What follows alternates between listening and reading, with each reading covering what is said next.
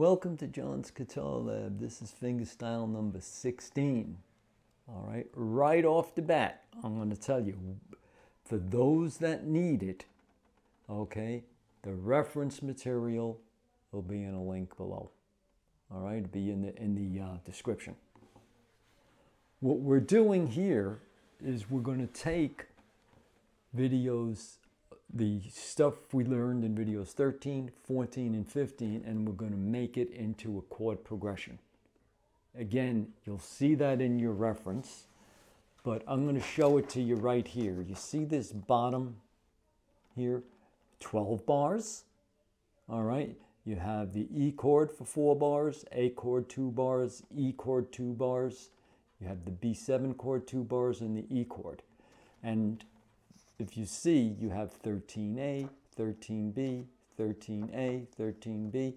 Again, this will be in the reference, so it'll be a little bit bigger to see.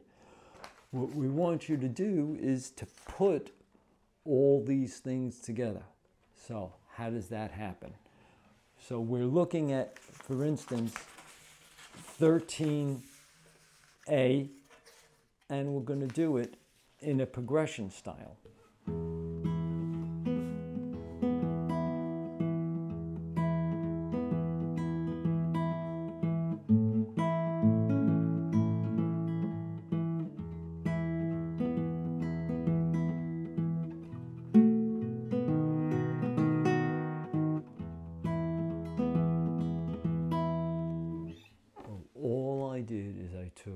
13A and 13B.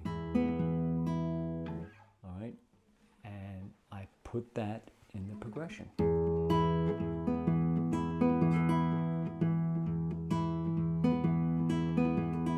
I took 14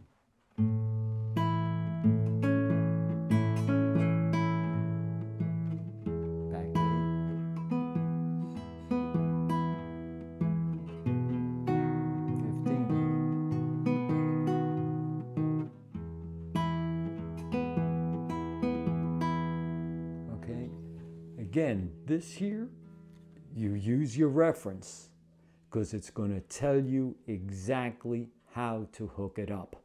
All right. I'll run it through real quick here that you're going to do 13A and 13B. 13A again. 14A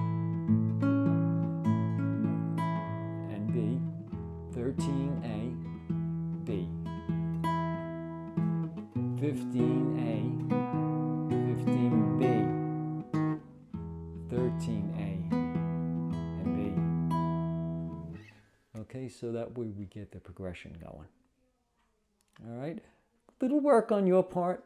Use the reference if you have to. Some of you I know are going to just be able to, to, you know, muscle right on through it, right? And once you get comfortable with the,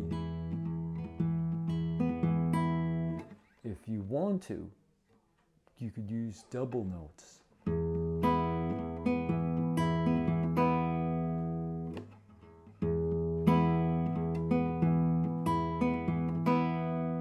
It's up to you.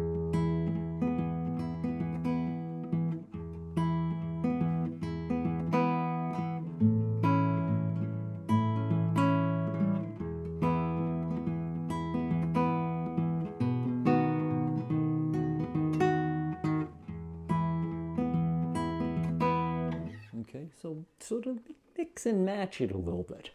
See what you could come up with and let me know. All right, again, references in the description, anything that you need.